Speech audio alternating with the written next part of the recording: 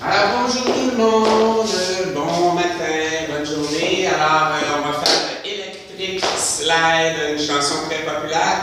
Donc euh, la chanson qu'on fait partout sur les campings, la fameuse danse country que personne se souvient comment ça se danse. Alors je compte sur vous là, pour montrer à tout le monde comment ça se danse. C'est très facile, vous allez voir.